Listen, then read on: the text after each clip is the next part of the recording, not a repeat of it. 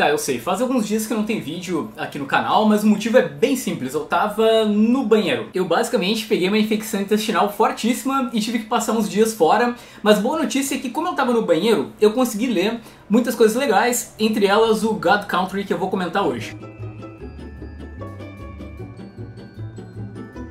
Ouviu falar do Donny Cates? Se, se, é um cara que, quando ele não tá sensualizando nas redes sociais junto com Chip Zdarsky, ele tá escrevendo alguns dos melhores quadrinhos da Marvel da atualidade. Ele, ele tá escrevendo, por exemplo, Venom, que eu já comentei algumas semanas aqui. E a estreia dele no Brasil deve ser ou com o gibi do Thanos, que vai sair no encadenado pela Panini, ou do Doutor Estranho. É um desses dois, deve sair, e aí tu vai poder conhecer o Donny Cates. E como eu tô muito fã desse cara, eu resolvi ir atrás do trabalho que acabou levando ele pra Marvel, que é uma série da Image chamada God Country. Ela tem, tem seis edições, ela é fechadinha no encadernado, e tem um inglês bem fácil, assim, ela, ela começou a sair nos Estados Unidos em 2017. Na trama a gente tem uma família texana. O Emmett, que é o pai, ele tá morrendo, ele tá com, com Alzheimer e tá completamente transtornado. E nisso tem o filho dele, que se chama Roy, que tá num dilema muito grande, porque ao mesmo tempo que ele tem que cuidar do pai, que tá, enfim, com um problema terrível, ele tem que cuidar da própria família, porque ele tem uma esposa e uma filha, e aí ele fica nesse, nesse limbo, assim, sem saber o que fazer. E aí, do nada, sim, absolutamente do nada,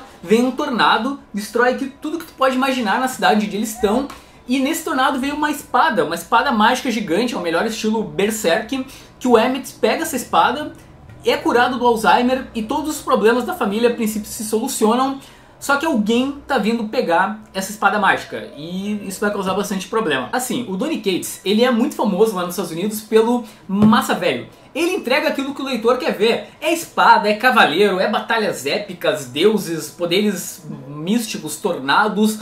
Mas o, que eu achei legal aqui do God Country é que, ao mesmo tempo que ele trabalha isso, ele vem numa pegada mais coração, algo mais Jeff Lemire. Porque o legal dessa história é que a parte que trata sobre a guerra lá das espadas e deuses e, e etc. é tão legal quanto tu vê o drama que existe do Emmett com a família, porque pensa o quanto é horrível para alguém que tem Alzheimer, porque tu, tu não esquece só das pessoas ao teu redor, né, esquecer quem é o teu filho, tu também esquece o que passou, tu esquece os momentos felizes que tu viveu com as pessoas que tu ama. Então é um quadrinho que é tão interessante a parte dos deuses quanto essa parte mais humana, mais, mais simples. E a personalidade do Emmett aqui no quadrinho ajuda muito para a história ser legal. Porque como ele é texano, ele é o cara que ele vai batalhar pelo que é dele, ele tem orgulho do que ele conquistou, ele tem orgulho daquela espada e ele vai lutar ao máximo para não perder ela. Porque é, na verdade essa espada é como se fosse uma alegoria ele tá lutando contra o tornado, contra, enfim, o que ele vai enfrentar aqui na história, na verdade é uma forma dele lutar contra a doença que ele tem, que é, enfim, o Alzheimer. E só pra, só pra dar um exemplo, olha o tamanho do deus que vem buscar a espada do Emmett. O cara é 10 vezes maior que ele, usa uma armadura gigantesca, parece o, sei lá, o Cavaleiro de Touro lá do, do, dos Cavaleiros do Zodíaco. Eu achei God Country muito parecido com Eu Mato Gigantes, que tu já deve ter ouvido falar, é uma série também da, da Image, só que é melhor, porque é menos óbvio, eu acho, sabe? O Eu Mato Gigantes tem uma mensagem muito que esfrega muito na cara do leitor o que está acontecendo. Eu achei o God Country menos piegas, pelo menos para mim, e vai virar filme assim como Eu Mato Gigantes.